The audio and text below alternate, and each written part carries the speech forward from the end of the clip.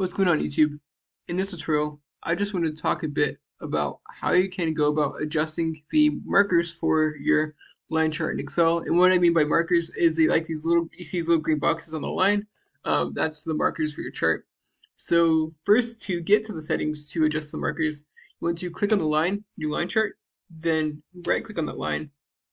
And after this little box comes up, I'm going to go to the bottom and click format data series where after getting to the list, you want to go to the one on the left with little fill option, and then you want to click on not line, but marker.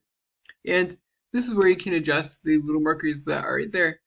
Um, so looking at the marker options, this is where you can select what the marker looks like. So you can have automatic, um, you have none, or you can have a built-in marker.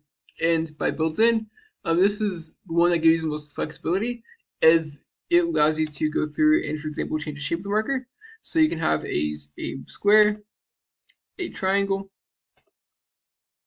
a circle, and you can even have an image so uh, inside of your marker. Um, one thing to note about using an image in your marker is that you don't have a lot of flexibility when it change when it comes to changing the size of the image when it's used as a marker, but to kind of show you um, that it can be done, going to click on icons, clicking on, let's say, an acorn, for example.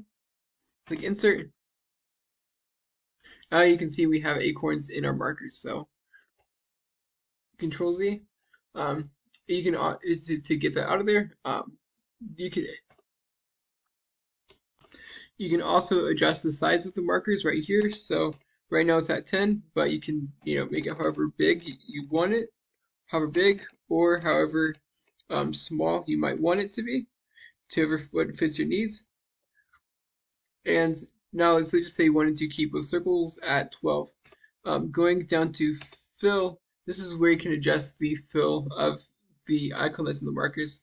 Um, so you can have a solid fill for the markers, you can have gradient fill, a picture texture fill, pattern fill, or um, whatever suits your needs.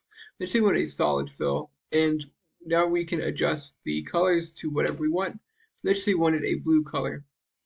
And scrolling down a bit further, you can also adjust the border these markers. So we can have no line, have a solid line, um, or a gradient line. Let's say you wanted a solid black line. So, you know, here have a solid line right here. We can scroll bit down a bit more and adjust the colors. So now it's black. We can adjust width. So just say wanted, you know, markers with a thick solid black line. Um, you can adjust the compound type or even dash type. So if you wanted, you know, these markers to have a dash around them, then you can go ahead and do that. And, you know, now we have blue markers with little dashes around them. So going back to these options, um, you know, under the marker options, you can even adjust, you know, have flexibility in adjusting how the dash looks like.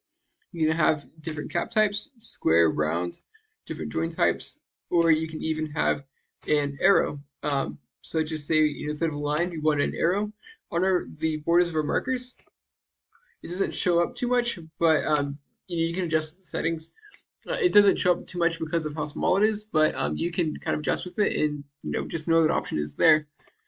So yeah, and that's it. I hope you found this tutorial, this tutorial to be helpful. Um, it, it might take you know messing around around with it a little bit, to get it to look like the way you want it to look like. But um, it just kind of just shows you some of the options that you have when it comes to adjusting the markers on your graph in Excel. So if you like this, please like, subscribe, comment. Thank you so much for watching. Have a great day.